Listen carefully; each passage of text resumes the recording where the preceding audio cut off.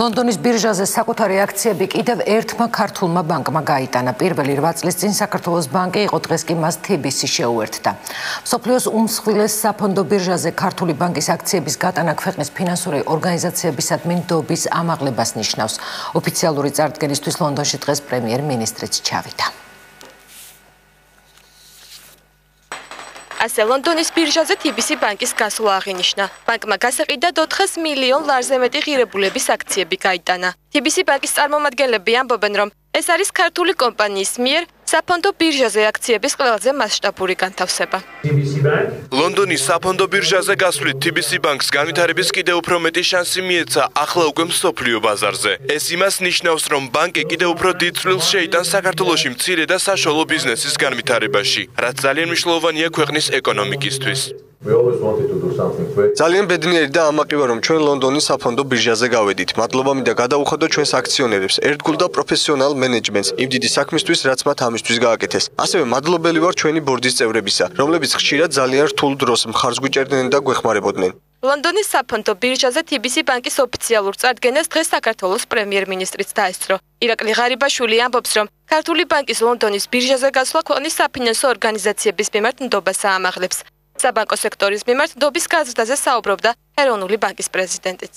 ჩვენ უნიკალური ქვეყანა ვართ იმ კონტექსტში, რომ ესე იგი საბანკო სექტორის ნახევარი დღეს რომარეობით ლონდონის ბირჟაზე კოტირებს ქართული საბანკო სექტორის კლიენტებს ჯამურად და რა თქმა უნდა ეს არის ინვესტორების ნდობის ძალიან მაღალი მაჩვენებელი. პრაქტიკულად ყველა ბარიერი მათ გადალახეს.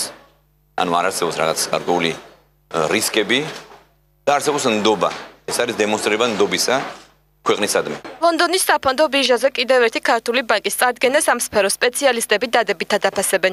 თუმცა რამდენად დაისახება ეს ბანკის მომხმარებლებზე და გაიზრდება თუ არა საბანკო კრედიტებზე ხელმისაწვდომობა, მოსაზრებები განსხვავებულია.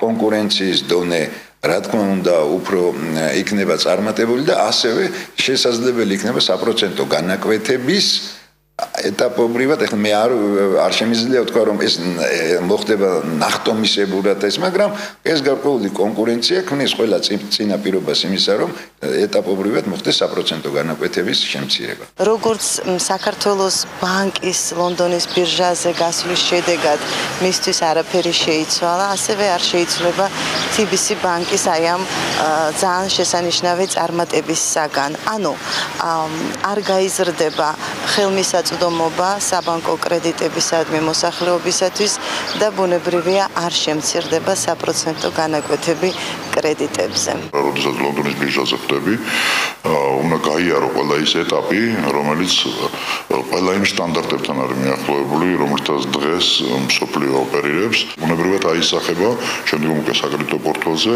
როგორც თავისი მასშტაბებით, ისე საპროცენტო განაკვეთებით. აი ეს არის სწორედ აი ის, რაც შემდგომში უნდა მივიდეს ყველაფერი მომხმარებლამდე.